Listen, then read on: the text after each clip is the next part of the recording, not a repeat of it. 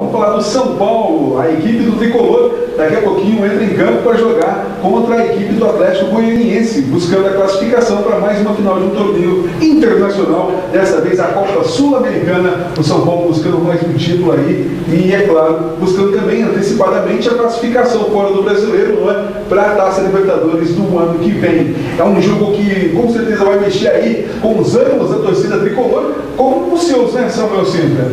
Exatamente, porque tem duas situações essa partida, né, essa competição para o São Paulo. Uma, porque o time está precisando de vencer títulos para dar aí um pouco mais de tranquilidade para a torcida. Vai em busca de dinheiro e o outro é um caminho curto também com relação aí à taça Libertadores da América, né, Celso Kinder? Com certeza, Samuel, com certeza. A bola vai rolar no estádio Serra Dourada às 21h30.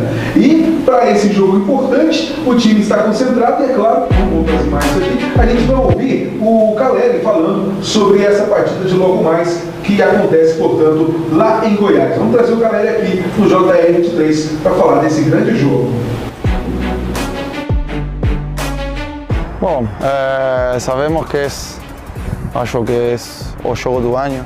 Eh, sabemos da importância que vamos a ter em enfrentar Atlético Goianiense, que tem um mister novo. Chegou a quartos de final de Copa do Brasil, eh, agora está a semifinal de Sul-Americana. É um time que tem muita qualidade por as pontas, tem jogadores de velocidade. Eh, sabemos que venimos de resultados ruins, que estamos jogando bem, mas não estamos conseguindo fazer resultados. A verdade acontece, eh, os melhores jogadores do mundo erram gols. Eu, que sou ninguém, outro dia errei dois gols, mas obviamente eh, uno vai chateado a sua casa, mas eh, acontece, sabemos que eh, em outro momento a pelota, a bola eh, vai entrar e espero que seja esta quinta. E precisamos de vitória. Não tenho dúvida que é um dos jogos mais importantes dos últimos 10 anos do São Paulo. Ah, eh, porque hace 10 años que San Pablo no gana un título internacional y una posibilidad para, para tener una vaga en la Libertadores, para otra vez jugar trofeos internacionales.